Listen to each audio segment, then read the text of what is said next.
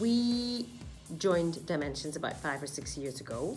The reason that we went for Dimensions at the time was because we had our own um, program, we had our own scheme of work, and we were we started to worry about the progression and the continuity and the consistency. From taking on the program, I think that in general, the teachers have become more creative.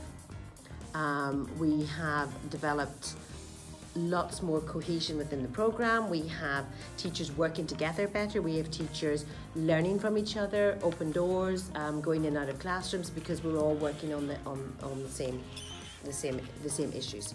Um, I think that it allowed us to develop our technology. It allowed us to develop our um, our own.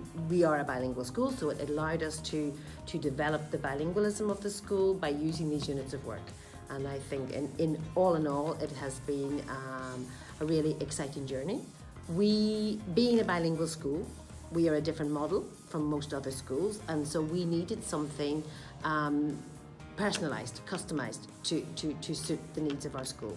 Um, we found that Dimensions was, uh, was a great way to go because they really listened to what we needed. We discussed back and forward about what we needed, and um, they were able to produce documents um, that, that would fit both the French side and the English side of the school.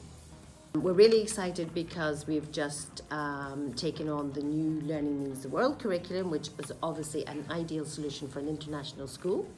Um, it gives us a lot of freedom, um, but at the same time, it's um, it really has helped the school to, to move forward in the units that we've trialed this year um, because we have really embedded a global citizenship. We have really embedded student-led learning through this program, uh, internationalism, and these are obviously very, very important points for an international school and especially a school that's accredited to CIS. As a school principal, I would suggest that anyone who was thinking about changing curriculums, uh, thinking about uh, looking to be more creative, thinking about student-led learning, personalised learning, um, global citizenship, internationalism, I think you should really give Dimensions a call before you decide to take on any other programme because I think it's really, really worth looking at.